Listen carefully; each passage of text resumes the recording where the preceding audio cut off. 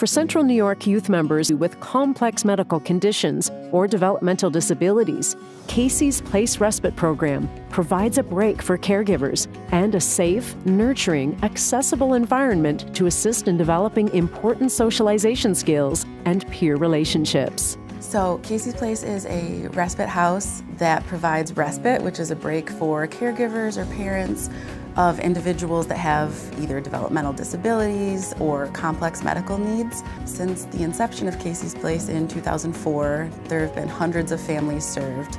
We currently have around 150 families enrolled right now. Parents give a lot and caregivers give a lot of positive feedback. They really like that there is somewhere that they can bring their children or the people that they care for. In terms of the impact on the community, it really gives those parents a break where they wouldn't necessarily be able to, to get one. For every caregiver with a child with a developmental disability or mental health issue, help is available. Discover more about Elmcrest Children's Center today. Dedicated to helping children overcome barriers and fostering a brighter future.